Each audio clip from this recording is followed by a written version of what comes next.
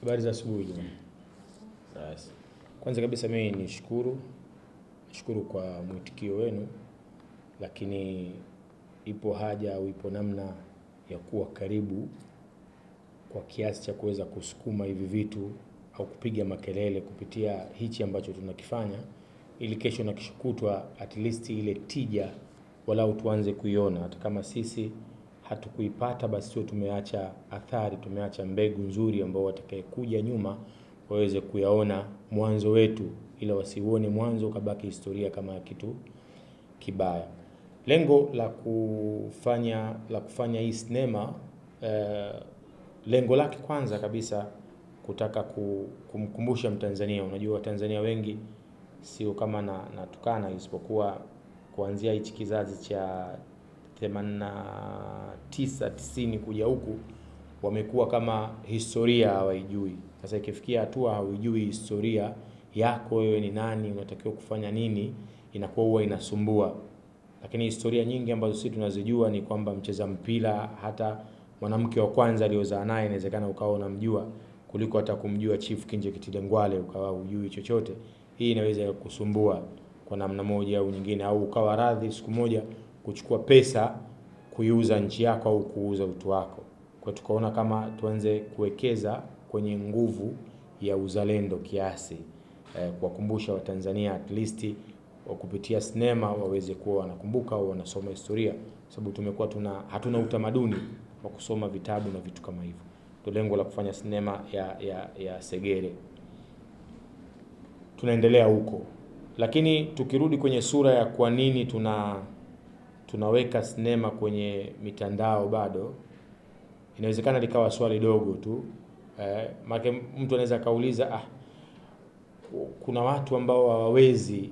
Sasa ikiwa wafanyabiashara wanaendelea kuuza smartphone kila siku na watu wanaweza kununua, basi inabidi uwafate watu huko kwenye kiganja chao cha mkono ili waweze kutizama kwa namna moja au nyingine. Kwa hiyo nchi huwa inatoka sehemu moja inakwenda sehemu nyingine. Kwa hiyo tunazungumzia sehemu ya Watanzania waliokuwa wengi, Watanzania milioni hamsini na tatu milioni 40 na kitu huko tayari wanatumia smartphone, kwa hiyo lazima tuende nao sambamba, na ukizingatia uuzaji wa DVD, uuzaji wa, wa, wa namna ambayo tulikuwa tumeizoea kutokana na industry kutokuwa na sera na nini, kwa inaona hili ni kimbilio sahihi la bora upate kidogo chako chana ambacho kitakuweze, kitakuwezesha kwa namna nyingine ili kuweza kila siku kuwa unapiga hatua na hata iwe nafasi nzuri pia ya kuweza kuwasaidia wasanii wachanga ambao wanataraji kuwa baadaye.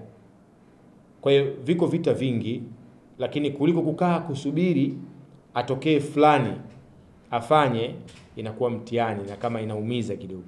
Kwa tunaona si wenyewe kwa nguvu zetu, kwa uchache ambao tunaufanya, wacha tufanye, labda atokee mtu atuambie hichi mnachokifanya hakipo sahihi, usahihi wake ni huu, ndio tutatoka huko kwenda kule, kuliko kumsubiri mtu aje eti aweze kufanya. Ujue inakuwa ngumu kidogo, kama sio kuumiza kabisa. Wasanii wengi wamekuwa na kilio kikubwa kutokana na desturi ambayo tulikuwa tumejiwekea mwanzo. Alikuwepo au walikuwepo wa, wa, walanguzi wa sinema. Maana nikisema wanunuzi inawezekana ikawa lugha ya Kiswahili haieleweki vizuri. Walanguzi wa sinema kwa hiyo walikuwa hapo hapo mwanzo. Wa, wasanii wengi akili zetu zilikuwa kule. Baada ya kile tulichokuwa tunakitegemea kuyumba, kila mmoja amesimama na mtizamo mwenzake. Kwa hiyo vitu vya namna hii vilikuwa havipo, lakini vitu vya namna hii vingekuwepo, sidhani kama mpaka leo watu wangekuwa wamenyamaza kimya, hawajui wafanye wafanye kitu gani. Kwa hiyo msaada unahitajika sana, hasa kwenu ninyi waandishi, kuweza kusukuma hivi vitu. Pointi yenyewe ya msingi, jamani, watu wao wameamua kufanya hivi, tuungane mkono, tushikane, tuwe pamoja. Unajua, mtu mmoja peke yake inakuwa sio kweli wala inakuwa nguvu yake pia ni ndogo kiasi, lakini watu wengi wakiwa wanapiga kelele kwa kitu kimoja, kuna uwezekano katika siku watu wakafahamu. So, hata ukiangalia gharama za, za kuweza kuitizama hii sinema, kwanza rahisi kuingia kuipata, kwanza hiyo app yenyewe rahisi. Ndio maana nataka kuizungumzia app, sababu ukizungumzia app itakuwa mada ni app. Hapa mada ni Segere, na namna gani watu wanaweza kuipata hiyo sinema ya Segere, ndo mada iliyokuwepo. Kwa sababu tukianza kuzungumzia app utaweza kujikuta tena umetoka unaanza kuzungumzia vitu vingine. Kwa hiyo namna ya kuweza kupata ni urahisi sana, yani kwa gharama ndogo sana ya shilingi mia tano unaweza ukawa umesapoti. Sasa hii ikifanywa mara nyingi, kuna uwezekano kelele za namna hii tusifanye tena, au maswali ah, sasa Gabo, sinema zako unaweka kwenye app itakuwaje sasa baadaye mtu ambaye yuko shamba hasa mtu ambaye yuko shamba umeme hujafika, unaniambiaje kuhusu hapo?